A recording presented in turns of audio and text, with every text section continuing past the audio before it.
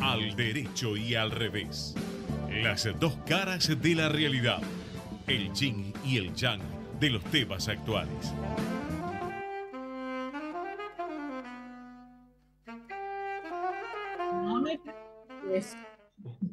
No te pregunto, no te pregunto, no, no te pregunto. Empezamos. Te voy a decir, no, 272. Perfecto, grande, Marta. Bueno, cada vez más informales, me encanta esto. Buenas tardes, ¿cómo les va? ¿Qué tal? Empezamos el programa número 272 de Al Derecho y al Revés. Aquí estamos con Marta, un horario muy este, un horario especial porque los compromisos futboleros de la radio hacen que a las 19 horas vayan a transmitir el partido de Vélez, eh, partido de una rueda anterior, suspendido, en fin, un partido en el que tampoco es que se discute tanto, pero bueno, es Vélez y los hinchas de Vélez lo quieren seguir y la radio tiene su compromiso. Así que tenemos un programa más corto, un programa en el que tenemos unas cuantas cosas para debatir, para conversar, y lo vamos a cerrar con la presencia un joven de 17 años con quien queremos que nos cuente eh, cuál es su sensación después de haber visto Argentina en 1985, ¿no? Esta película tan movilizante y que tanto impacto ha causado, en mi opinión, para bien en la sociedad argentina. Pero antes que nada los saludamos a mm, Gerardo Subirana operando, a Fede Politi en la producción, que están en el piso. Y Marta, teníamos alguna efemérides para hoy, ¿no? un, par de efemérides eh, interesantes. Bueno, hoy, 25 eh, de octubre, se recuerda a eh, Alfonsín Storni. El 25 de octubre de 1938, ella decidió acabar con su vida en Mar del Plata. A mí me gustaría que en estos casos lo que se recordara es el día del nacimiento, porque, bueno, esta actitud nuestra medio necrofílica no, no es muy atractiva. Pero bueno, es así, se recuerda hoy el, día de la muerte de Alfonsina Storni.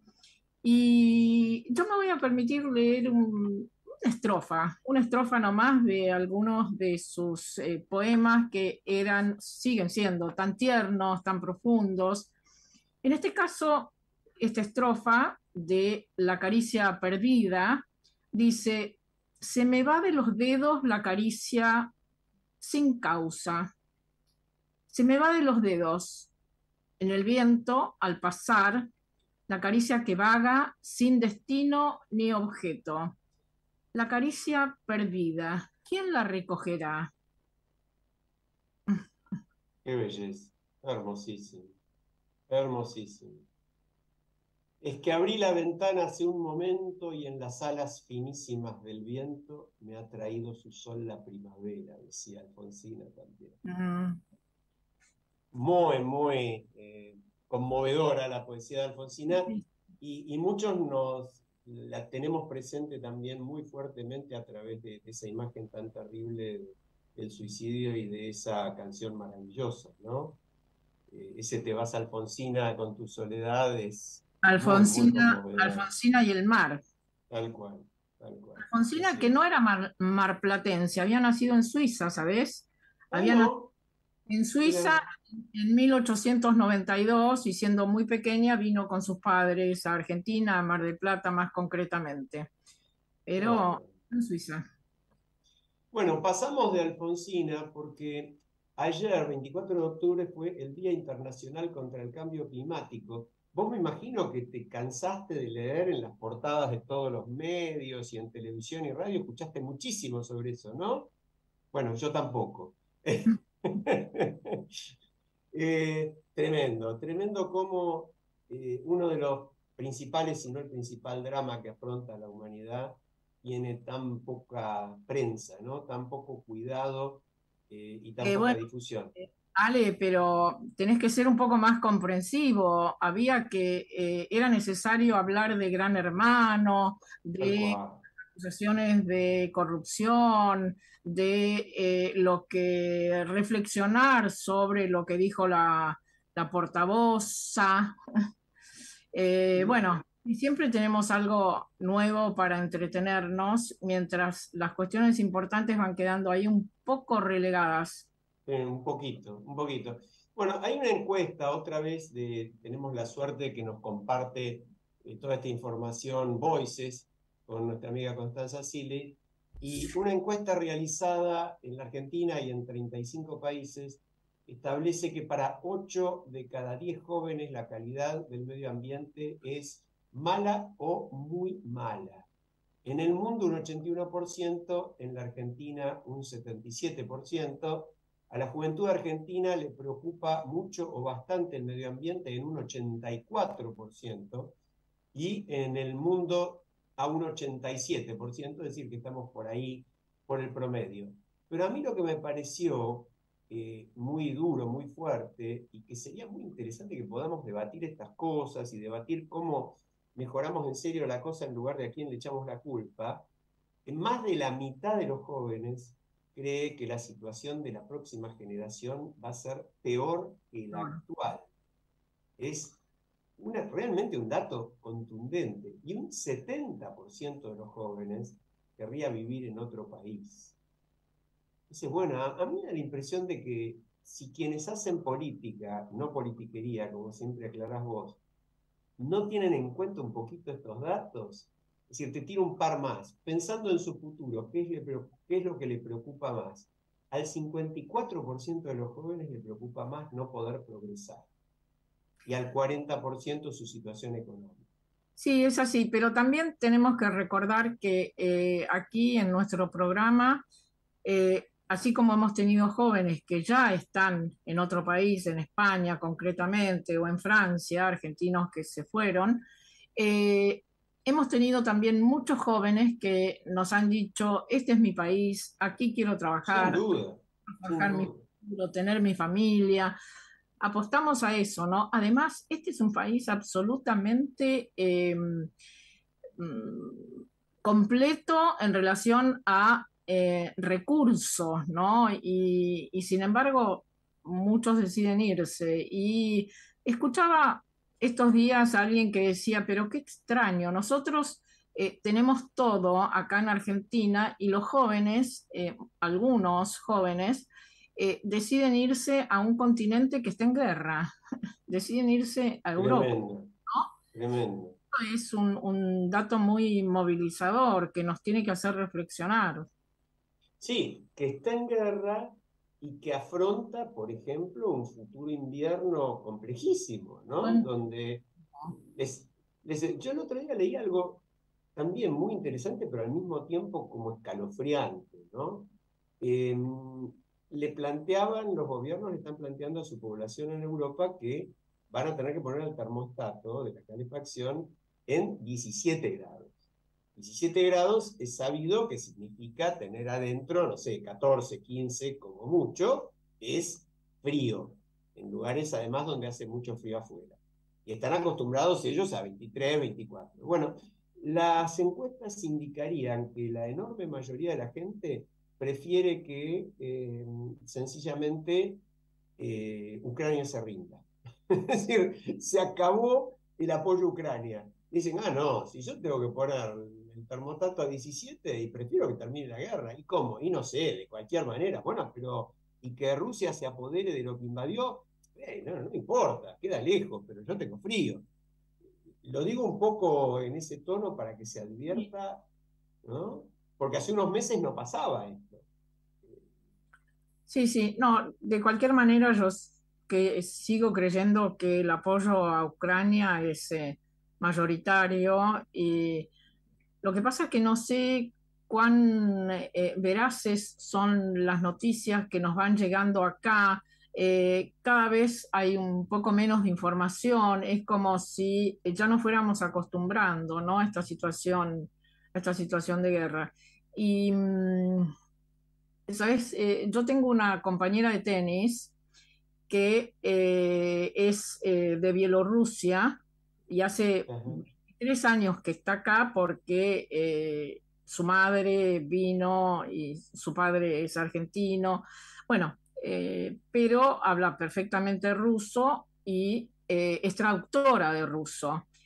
Y nos decía esta semana que no dan abasto ella y sus colegas en la traducción de partidas, de documentos, etcétera. La cantidad de rusos que, Están, que están viniendo. En esto también lo corroboro con algún dato de alguna escuela conocida donde alumnos de primaria nuevos son rusos, hijos de eh, padre, madre rusa que han venido acá. Yo le preguntaba a esta compañera de tenis eh, si es gente em, eh, con, con formación, si es gente que eh, que consigue trabajo.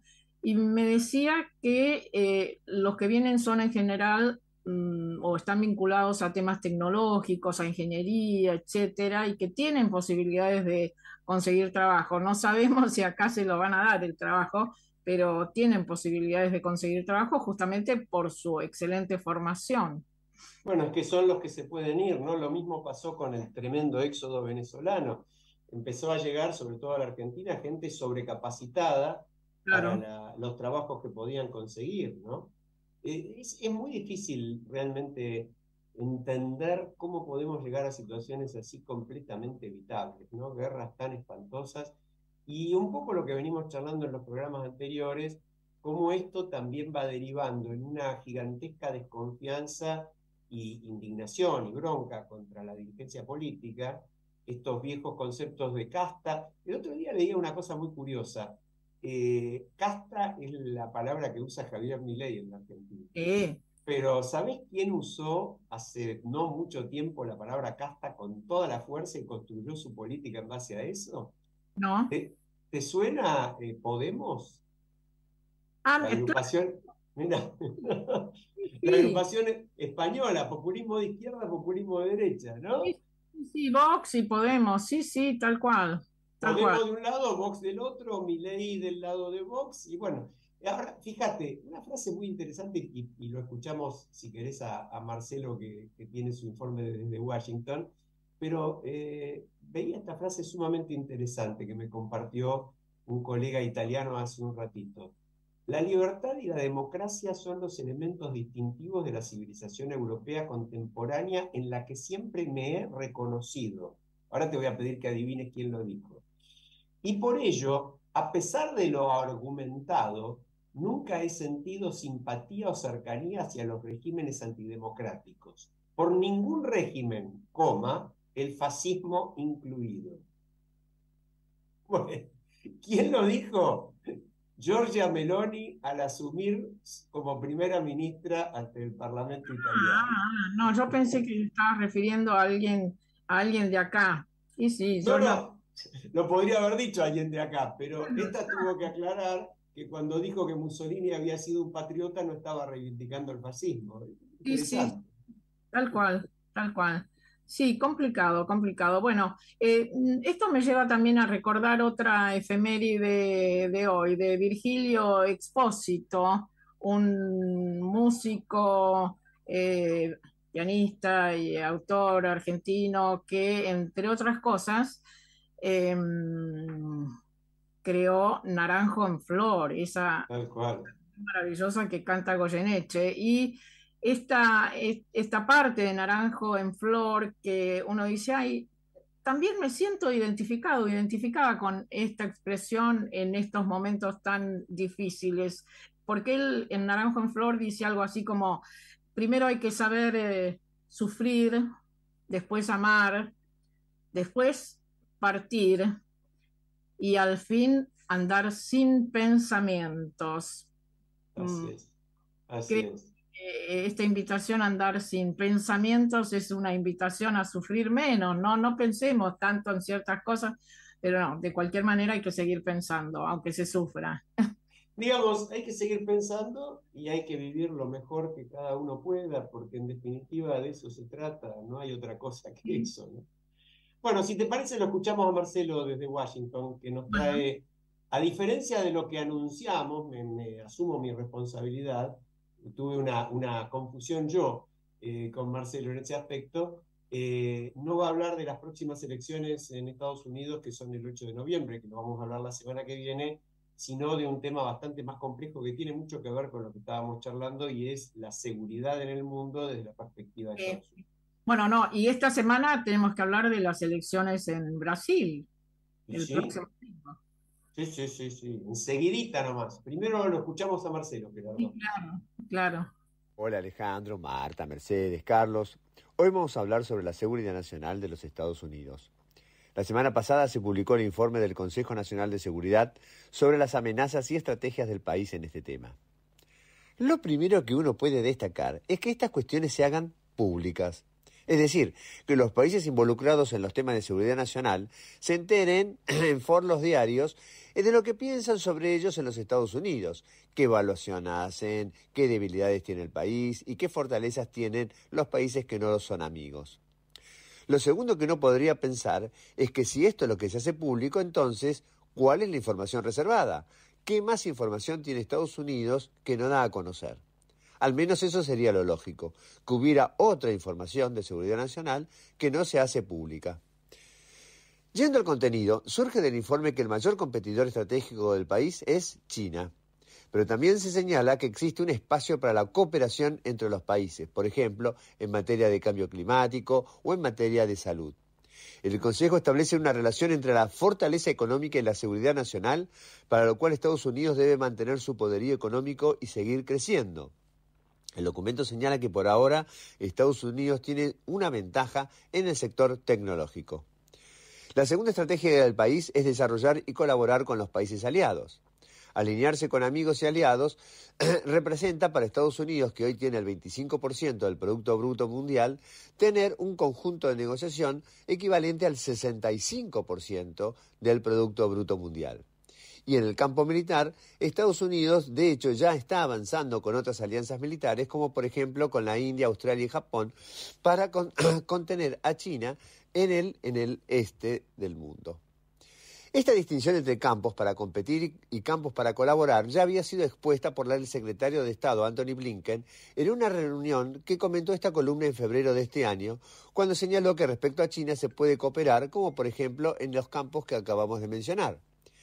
Pero una crítica provino del Hudson Institute, señalando que parecería contradictorio una competencia militar con una cooperación climática, porque eso volvería al país como un rehén de China. Mientras Estados Unidos es un país que respeta el Estado de Derecho, China aprovecha todas las ventajas del sistema capitalista para luego usar todo su poder de coacción para beneficio propio. Justamente, en el Congreso Comunista que acaba de concluir, Xi Jinping señaló que existe un proceso histórico irreversible, en donde China se ha convertido en una nueva elección para la humanidad. La competencia entonces no sería militar, sino entre dos estilos de vida, el democrático y el liberal. Y vinculado con la fortaleza militar, la semana pasada también se difundió un informe de la Heritage Foundation que califica la defensa nacional como débil. Señala que está en riesgo la habilidad del país de prevalecer en dos conflictos regionales simultáneamente, como podría ser Corea y el Medio Oriente, por ejemplo. Es más, ese peligro podría existir aun si hubiera un solo conflicto regional que fuera de escala muy grave. China ya supera a Estados Unidos en la cantidad de naves y en general la inversión militar se ha reducido, en parte por la inflación y en parte por las bajas inversiones. Pero no todo es dinero, señala la institución. El, el entrenamiento de los pilotos parece ser también pobre. Y con esta perspectiva del Consejo de Seguridad y de estos think tanks, podemos ent podremos entender los próximos pasos del gobierno en materia de política exterior. Los dejo hasta la próxima columna. Bueno, gracias Marcelo. Muy completo el informe y sumamente angustiante, diría yo. Como, ¿no, siempre, Marta?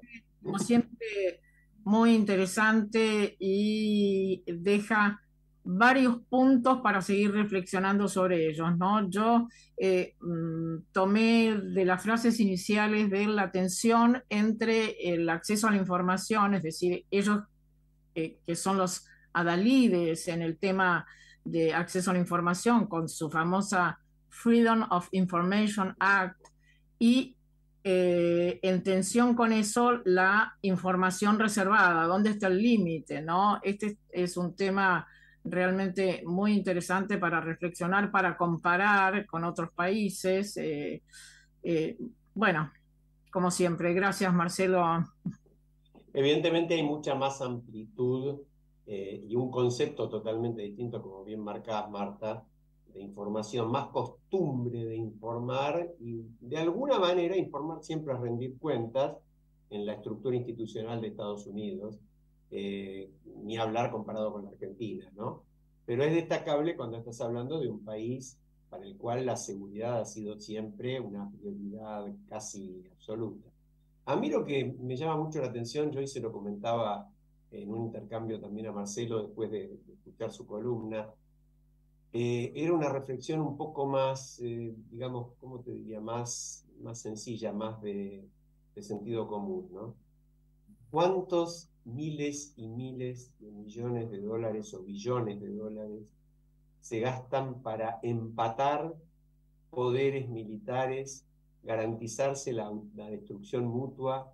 Eh, ¿Cuántos, y comparación realmente, y no, no es una cosa utópica ni infantil la mía, porque si todos asumimos que esas bombas y esos eh, eh, armamentos cada vez más sofisticados, que se pueden usar en espacios limitados, como bueno, en este momento en Ucrania, o en algunos lugares del Medio Oriente, o en el África, pero en definitiva siempre como campos de pruebas, eh, las fortunas gigantescas que se gastan en eso, sobraría con, con, ese dinero para que tuviera un piso bastante mayor de dignidad toda la humanidad, ¿no? y se evitaran tantos conflictos. Sí, sí. bueno, los líderes, los líderes mundiales deberían en algún momento replantearse eh, esta actitud porque termina siendo seguramente suicida para el conjunto de la humanidad, ¿no? Hay que eh, trabajar temas de inclusión, de equidad, eh, ni hablar salud, educación, etcétera. Los, los recursos que podrían utilizarse para estas cosas y que, como vos decís, se usan muchas veces para la eh, construcción de armas muy letales, ¿no? Y esto vale absolutamente para todos, ¿eh? porque el informe era sobre Estados Unidos, pero China, que supuestamente plantea una finalidad política, ideológica diferente, y que podría decir con bastante autoridad, bueno, hemos sacado cientos de millones de personas de la pobreza en las últimas décadas, lo cual es cierto, este, más allá de si después cada uno elige o no vivir en un país donde en el medio del acto político más importante transmitido por televisión, lo toman de las pestañas al anterior eh, jefe de ese partido y se lo llevan, ¿no? Cosas tan alucinantes como esa. Pero bueno. Las fotos, esos videos son increíbles, ¿no? Increíble. Parece un dibujo animado. Sí, sí, sí, sí, tal cual. Bueno. Y, además, viste que en China no se pasa eso, esas imágenes están prohibidas, ¿no? Es, es, loquísimo. Pero bueno, sacando eso, que da para otra, otra conversación, los chinos también, como decía bien Marcelo. Acerquémonos a, a, Latinoamérica, hablemos de la Brasil. Hablemos de Brasil, dale.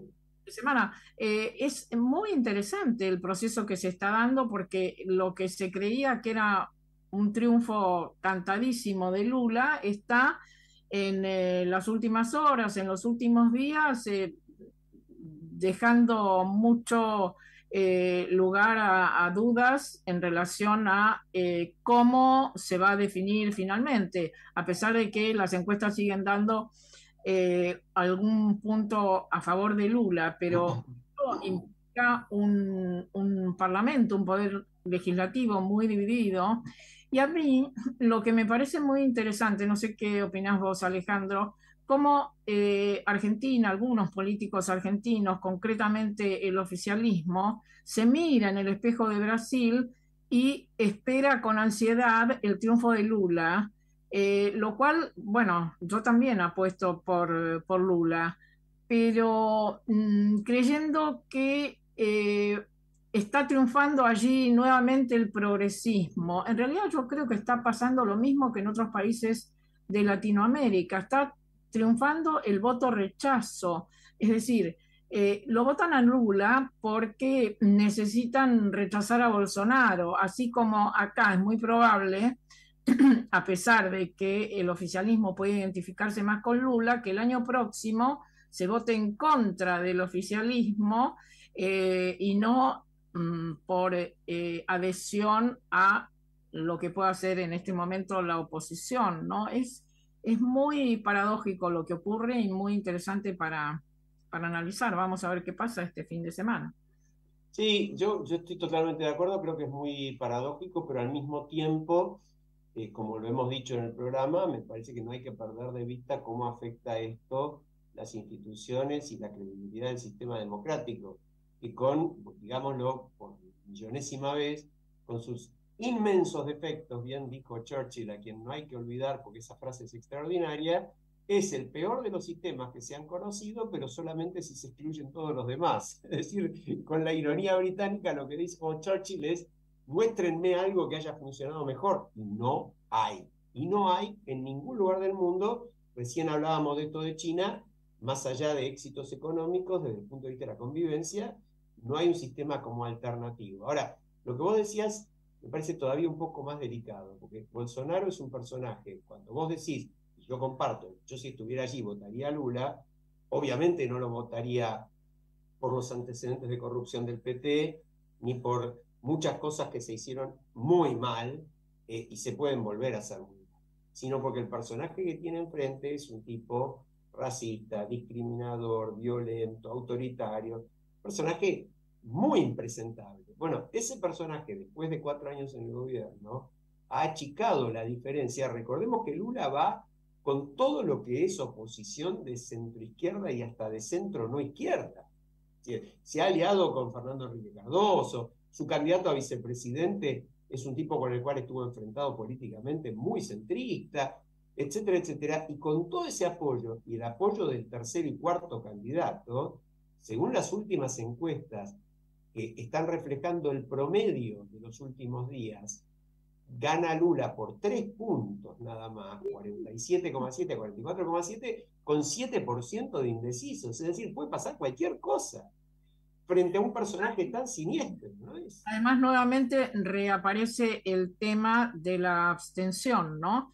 No sé cuál porcentaje, vos tenés ahí los datos, de gente que se abstuvo en eh, la primera vuelta y eh, que seguramente eh, puede volver a abstenerse e incluso aumentar ese porcentaje. Bueno, se, teme que el porcentaje se aumente, en cuyo caso aumenta en perjuicio de Lula, porque el electorado de Bolsonaro es un electorado... Ahora, vos fíjate que Lula ha llegado a decir en estos días que eso, cuando hablamos, la palabra progresismo eh, realmente no se la obsequiaría a nadie, ¿no? Para mí siempre me sentí una persona que está a favor del progreso de la humanidad, del progreso social, del bien común y de la mejora en todo lo que sea exclusión.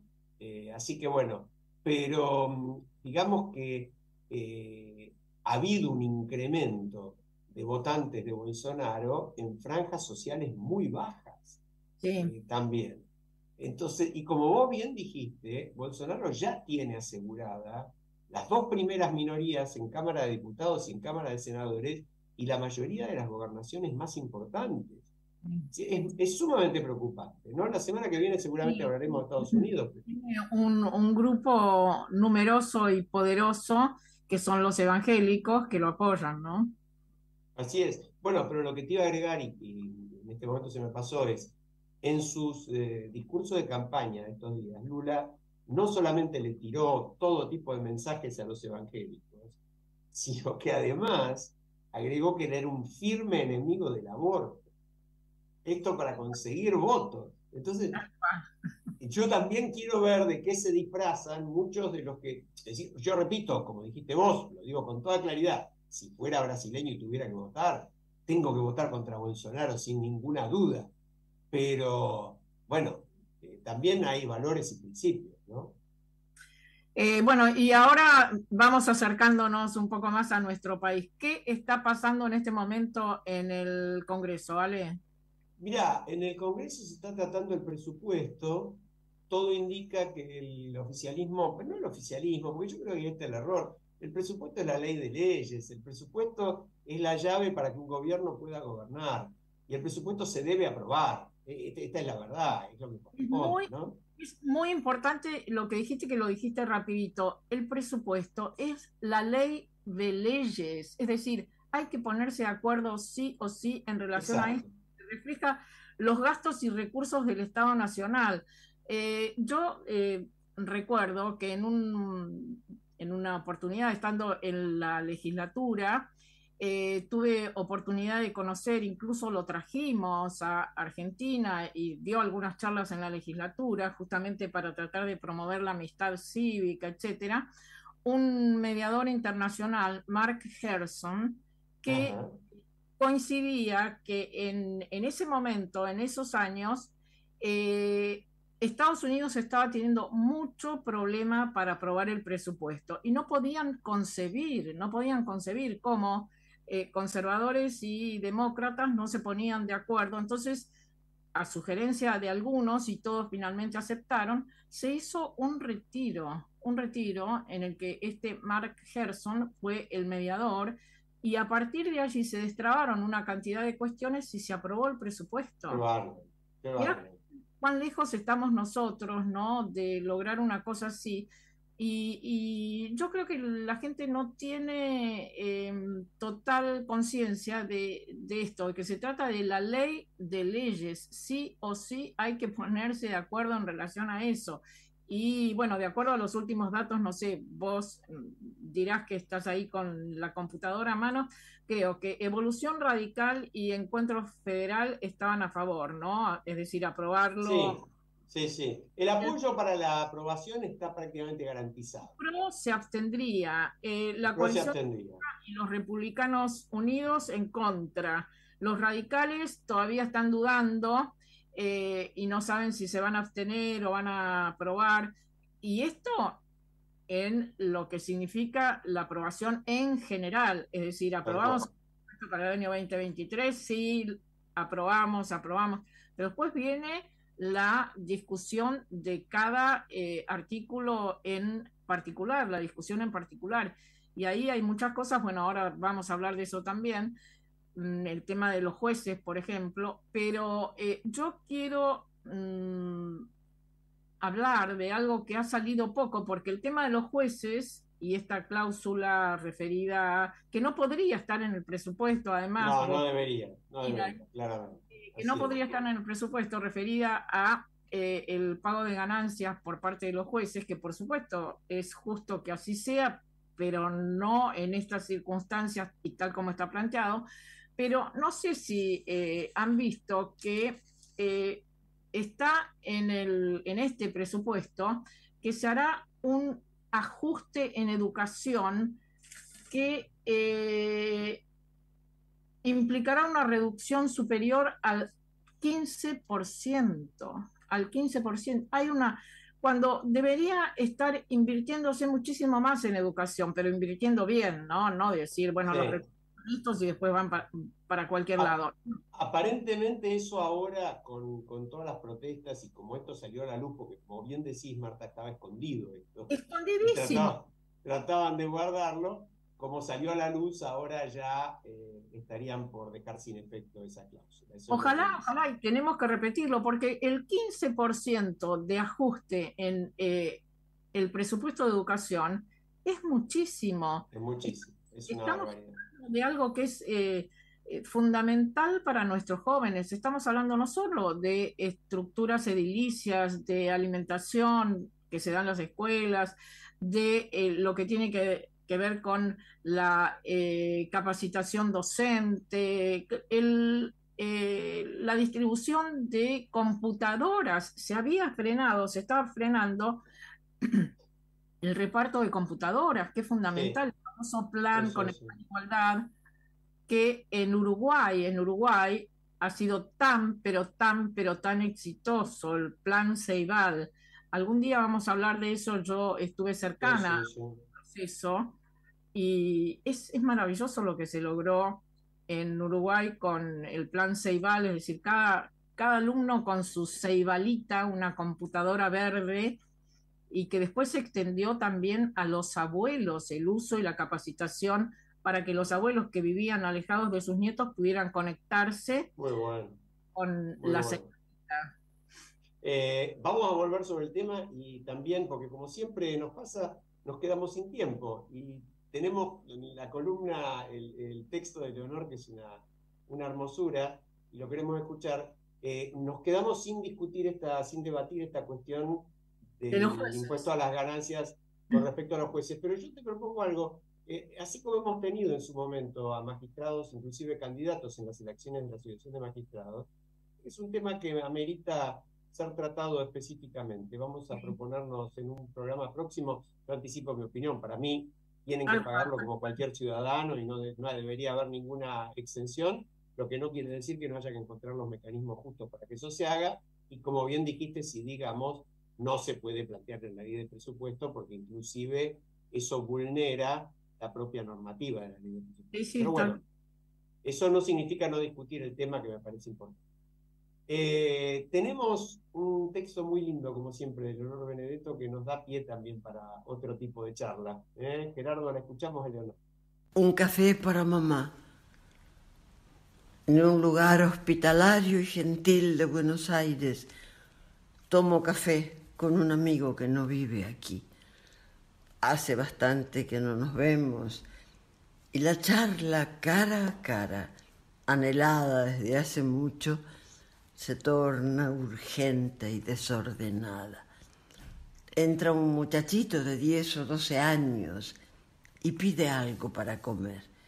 Mi amigo, con llamativa naturalidad, le pregunta qué quiere.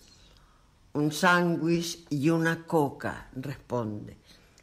Y a los pocos minutos sale del local atacando su merienda con manifiesta alegría. Al rato, una nena pide un alfajor de chocolate.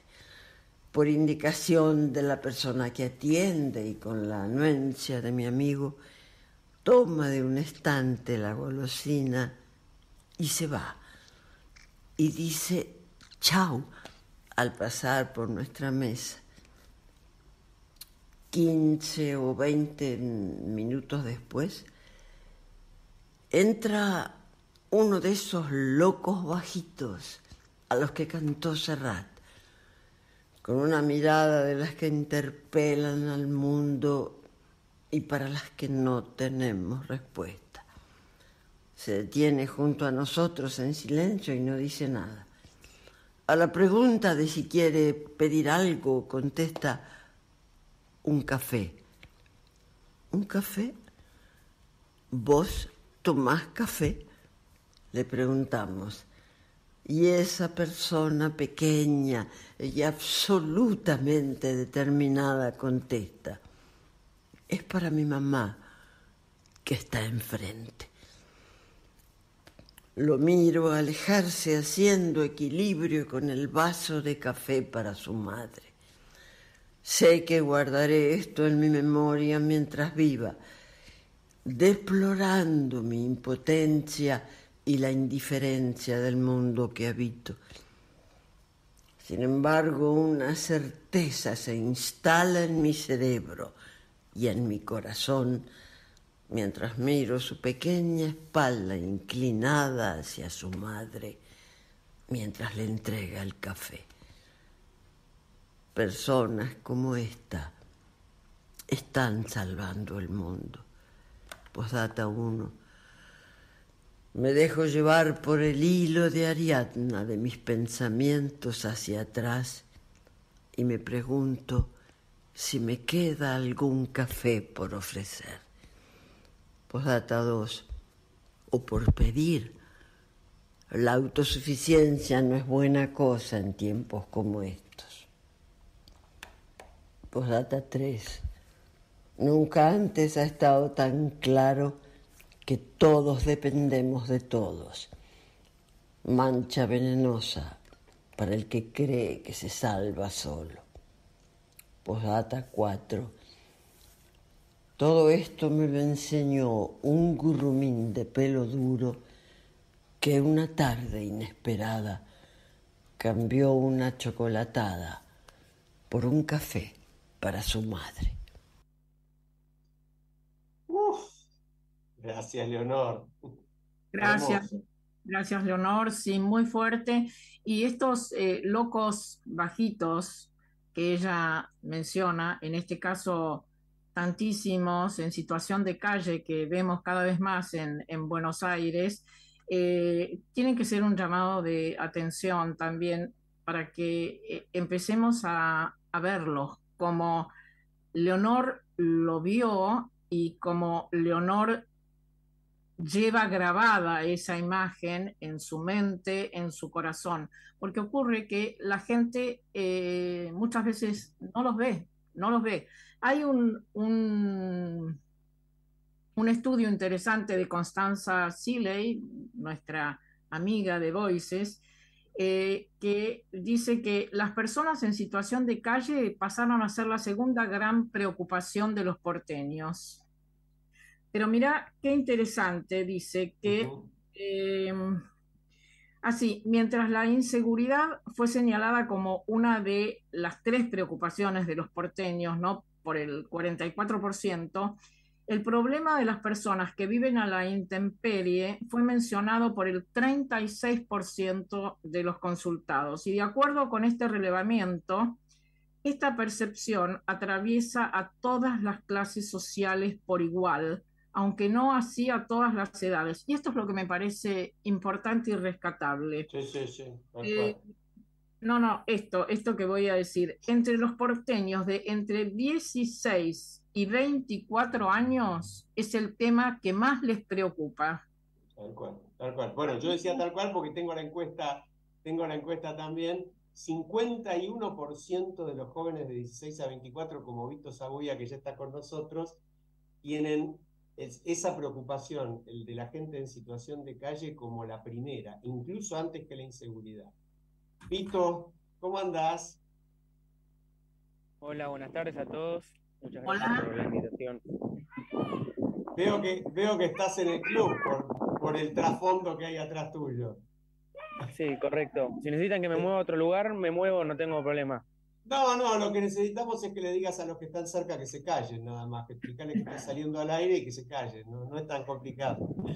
Bueno, Vito Saboya ya había estado con nosotros hace unos cuantos meses, cuando estaba en el penúltimo año del secundario y ahora está terminando el último, ¿no? Año particularmente intenso para, para Vito, eh, repleto de experiencias, pero por encima de, todo, para empezar la charla, eh, Vito, queríamos, vos este, fuiste al cine este fin de semana, lo cual no tiene nada de particular, pero sí tiene de particular que viste Argentina 1985, película que ha movilizado como pocas a la sociedad argentina en los últimos años. Eh, y nos interesaba muchísimo escuchar la opinión de un, de un joven de tu edad 17 años terminando el secundario, ¿cómo la viste? ¿Qué sentiste? ¿Qué te transmitió? ¿Con quién la viste? Contanos.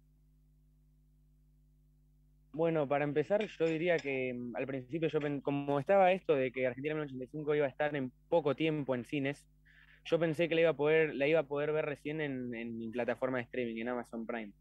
Pero justo una tarde, por razones climáticas, no venimos al lugar donde estoy ahora, que es el Club de Amigos, y le pedimos a la chica que trabaja en casa que se quede con Fran, que es mi hermano más chico, que tiene 10 años, y junto con mi papá, mi mamá y mi hermano de 14 años fuimos a ver Argentina 1985.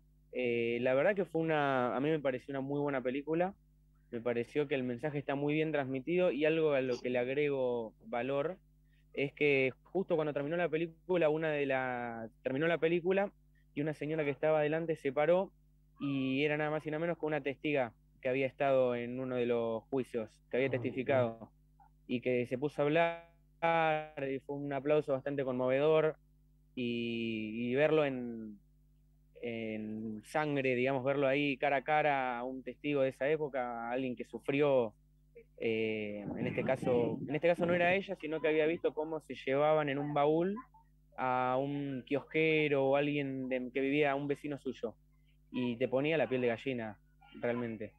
Vito, seguramente vos tenías alguna información a través de tus padres, que es por supuesto una familia comprometida y conocedores de, la historia y eh, comprometidos con eh, la democracia. Es decir, vos como uno de los hijos de esa familia tenías esta información.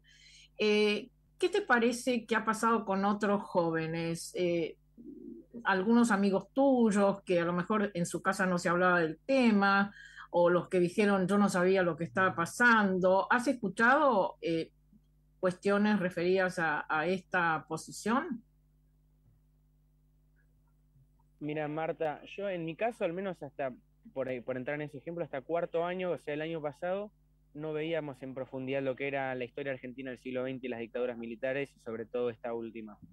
Pero algo que sí me sorprendió en, tanto en mi, en mi generación como por ahí las más chicas es que eh, se despertó un, también un, ganas de ver esa película que por ahí uno cree que a esta edad se van a ver películas, no sé, de comedia o de superhéroes o de terror, y que había una realmente de saber qué era lo que había pasado. Yo hasta ese momento sabía que había habido unos juicios, que había habido el juicio, sabía quién era el fiscal Estracera, pero no sabía bien cómo había sido toda la, movida, por así decirlo.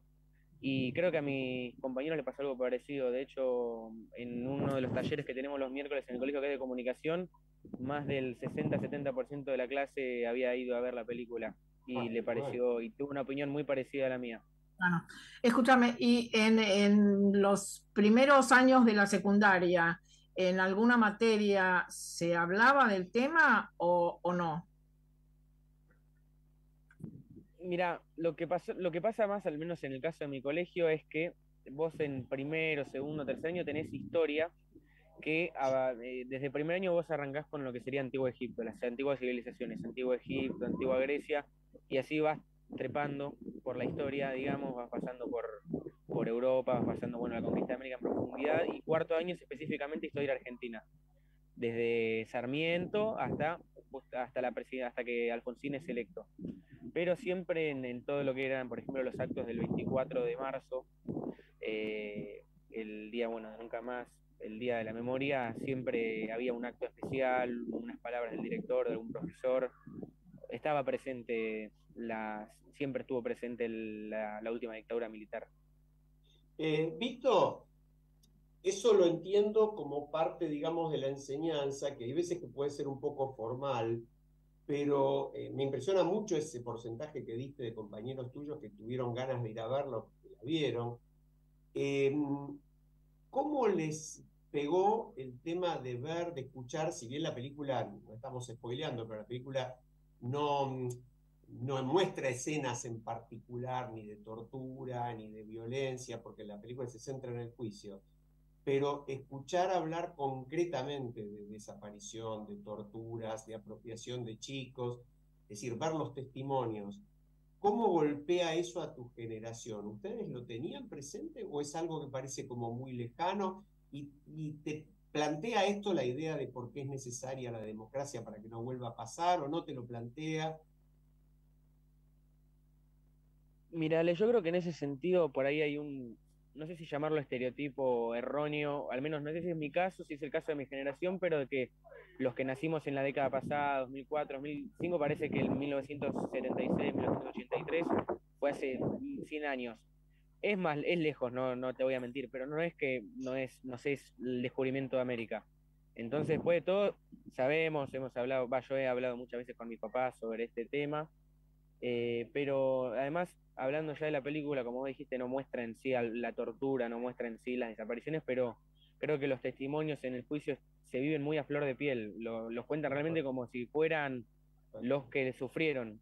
Entonces realmente te, pega. En la sala justo en la que estuve yo no éramos tantos, por ahí porque era un sábado de la tarde, era, estaba muy llena, eso sí, pero sí gente por ahí de menor de 25 años, había un 50% de la sala estaba ocupado por gente así sí, mucho, mucho interés.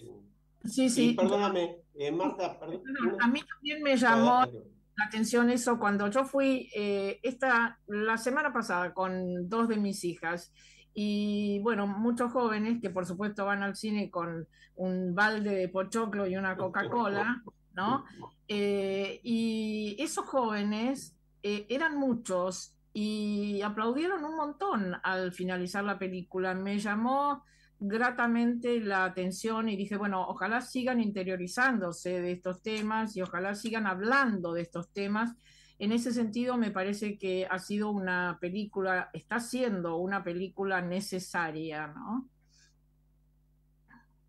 Totalmente, Marta, me parece una película necesaria y sobre todo porque uno, a diferencia de otras películas por ahí documentales, uno va a verla diciendo, bueno, yo voy a vivir, yo voy a aprender de esta película, yo voy a vivir lo que yo no pude vivir porque no estaba vivo, pero lo que vivieron otras personas y que sucedió al fin y al cabo. No es algo, no es un cuento, no es eh, ficción, sino que es algo que sufrió la Argentina. Entonces uno va a saber qué pasó, a vivir lo que pasó y a tratar de aprender para que no vuelva a pasar en el futuro. Y porque después de todo, al fin y al cabo, aunque por ahí suene crudo decirlo, de los errores aprende y por lo cruda que fue la dictadura, probablemente no vuelva a haber una, si Dios quiere, eh, y que también eso depende de, las futuras generaciones, y, el, y que se enseñe que estuvo mal y que se enseñe que puede haber justicia como la trató de hacer, eh, como la hizo, mejor dicho, el fiscal Estracera, eh, es una lección sin duda formidable. Sí, o sea que eso, eso me parece muy interesante también porque, bueno, no se ha destacado quizás lo suficiente es un precedente prácticamente único el de la Argentina, de haber juzgado casi en tiempo real, en forma inmediata posterior. Eso no se pudo hacer ni siquiera en, Sudáfrica, porque en Sudáfrica fue completamente diferente. Pero te quería hacer otra pregunta. Vos eh, comentaste que fuiste con tu hermano Camilo de 14. Eh, ¿Cómo lo vivió Camilo? ¿Qué dijo Camilo? Porque no te digo otra generación, pero sí son tres años menos, ¿no?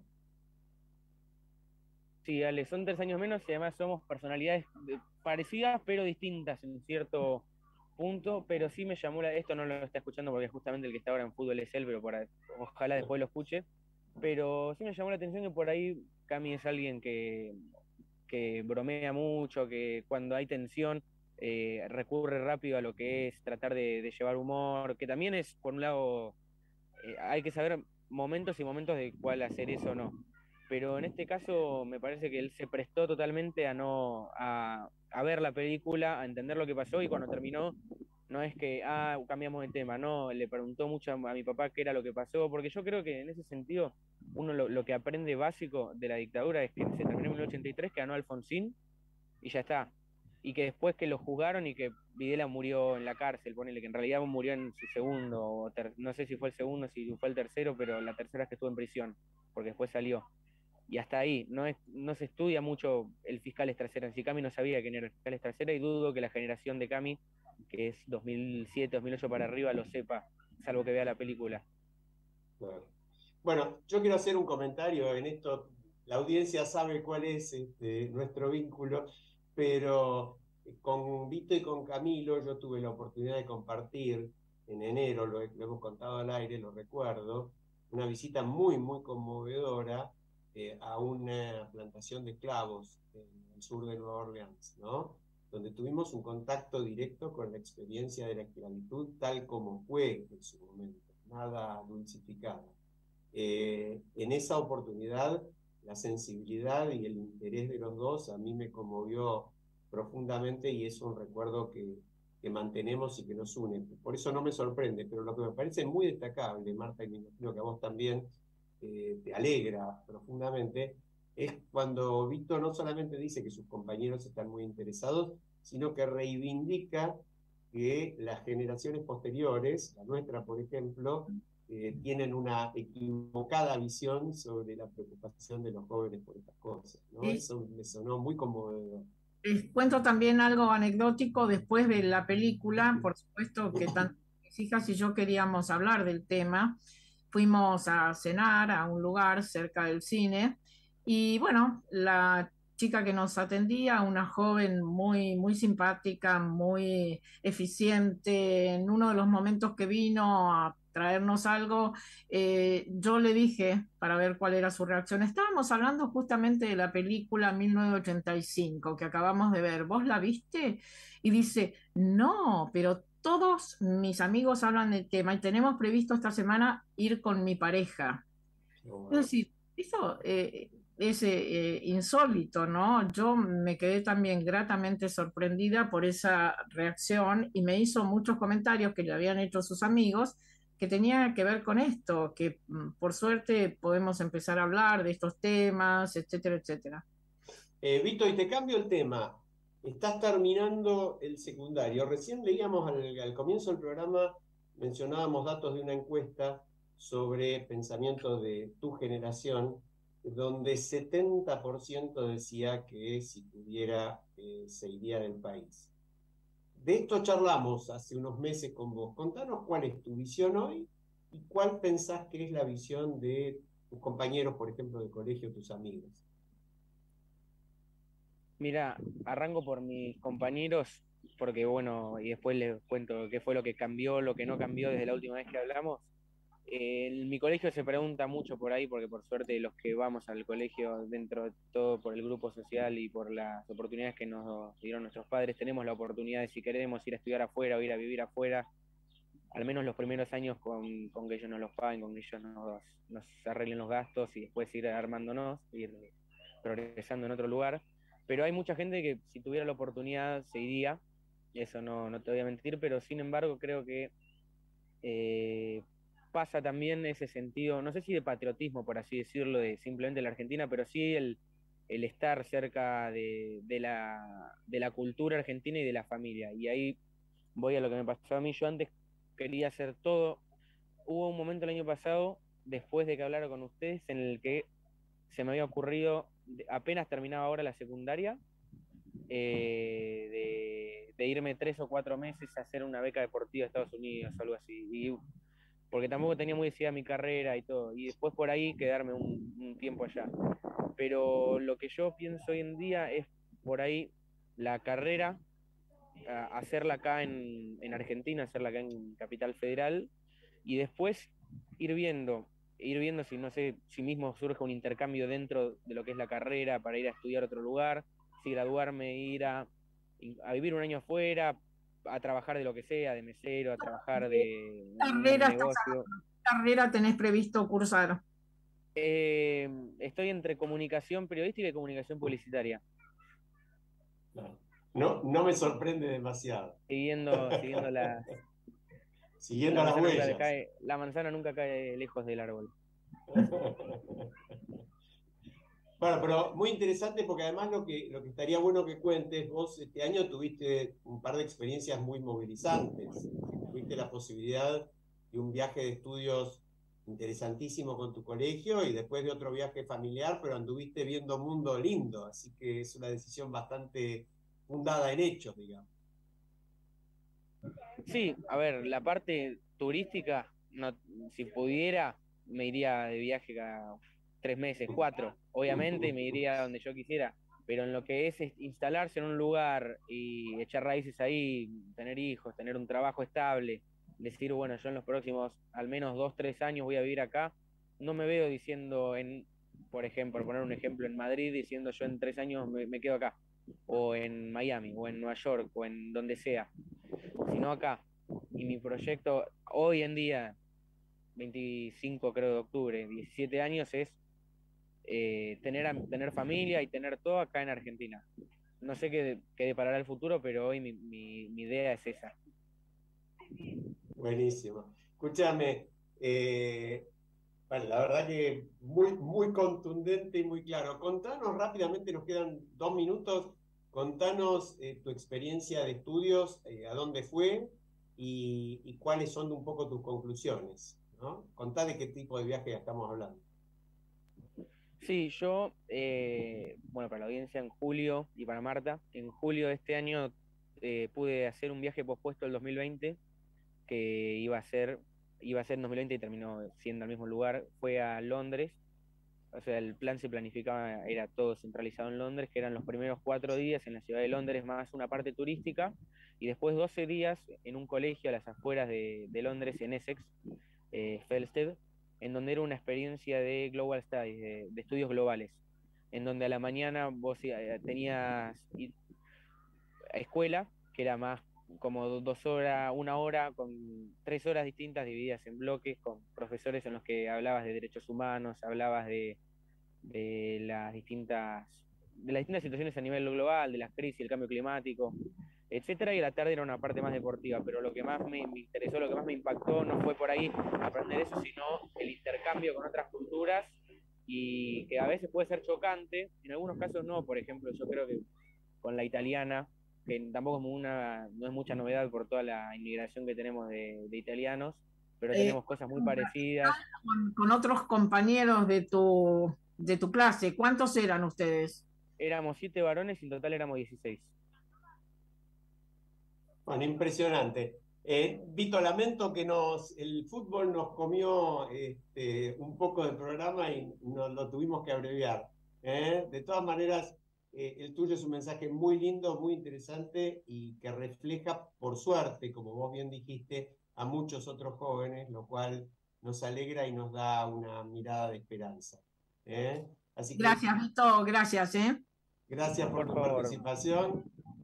nos estamos despidiendo tempranito, le dejamos el paso al fútbol. Nos vamos hasta la semana que viene. Un abrazo para todos.